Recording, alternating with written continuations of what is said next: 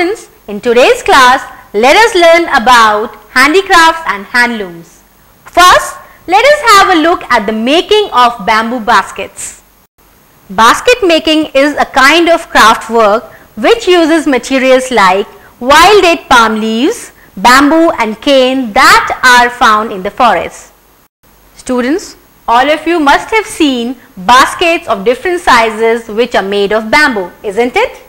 The basket making continues to be the occupation of many families, especially the Yerakula tribes even in the present day.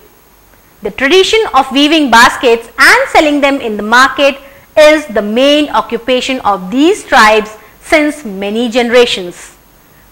Many of these tribal people are migrated to the towns and cities as the making and selling of baskets has declined in their villages. The spines of wild date palm leaves or the etha chettu is used for making the baskets. The leaves are shaven off and dried in the sun. The raw materials and the leaves are brought from the villages which are sold to the basket makers in the city. The price of the basket depends on the size. The bigger the basket, the higher the price. Students, do you think these people make enough money by selling these baskets? It is seen that the people do not earn enough money to meet the family expenditures.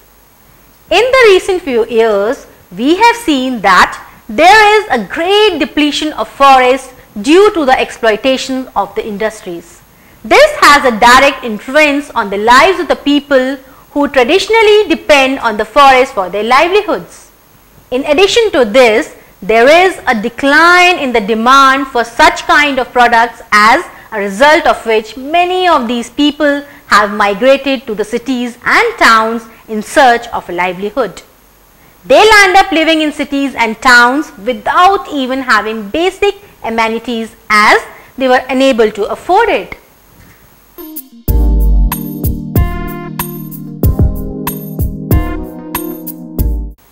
The people who migrate to the town and cities live in slums with improper amenities like improper drainage system that breed flies and mosquitoes, lack of proper drinking water and electricity.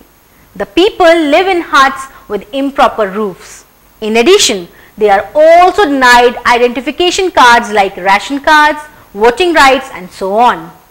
This avoids them from participating in the democratic process and availing their rights.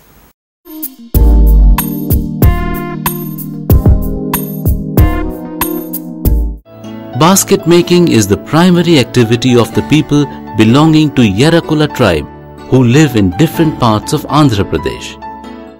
The people derive their name Yerukula tribe from the traditional profession of the women of this tribe of fortune telling Yeruka Chaputa.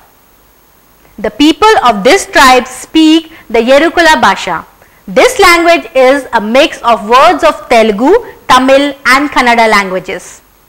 Students, we have seen that the bamboo baskets are produced in a simple way with the help of a few materials that are available in nature.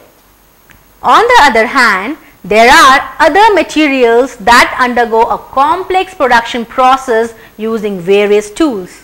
The cloth made of silk and cotton is examples of such items.